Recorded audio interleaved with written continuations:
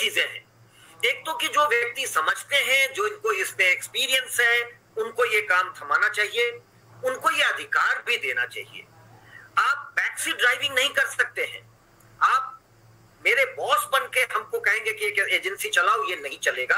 पूरा हम, अधिकार हमको देना पड़ेगा ताकि मैं ये निर्णय करूँ कि मैं परीक्षा कैसे कराऊँगा और क्या निर्णय लूँगा। निर्णय कोई और लेगा, परीक्षा मैं कराऊँगा।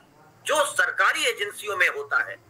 कोई बॉस अलग होता है और सबॉर्डिनेट कुछ करता रहता है तो वहाँ ऐसी चीज़ें नहीं हो सकती है। मैं आपको एक उदाहरण देके समझाऊँगा।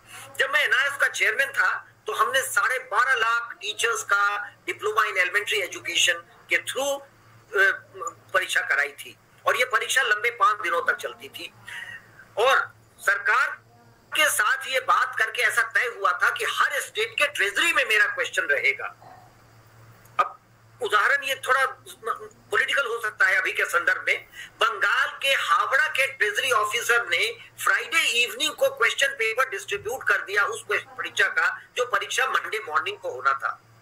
अब मुझे पता चला, मैं रुका रहा, मैं दो बजे मंडे जब ये परीक्षा शुरू हुई क्वेश्चन खुला, तब पता चला कि सही क्वेश्चन था।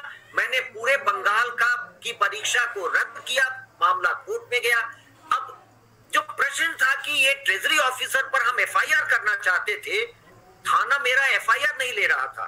कहता था कि सरकार से आदेश लेके आइए कि एफआईआर करें। इस बात से दो चीज़ें सामने आती है। एक तो मुझे अधिकार था एज चेयरमैन एनआईओएस कि मैं चाहूँ तो एफआईआर कर सकता हूँ, परीक्षा रद्द कर सकता हूँ। उस परीक्षा को रद्द करने की कीमत सात करोड़ रुपए थी संकेत जी। लेकिन एज चेयरमैन हमने ये निर्णय लिया। आज जो सरकारी अफसर हैं, वो ये निर्णय नहीं ले सकते हैं, क्योंकि उनको कोई ना कोई बहुत से अप्रूवल लेना पड़ेगा। वो मेरा ऐसा मानना है कि एनटीए कंप्लीटली ऑटोनोमस हो, उसका जो हेड हो, आज का जो वहाँ चेयरमैन है, वो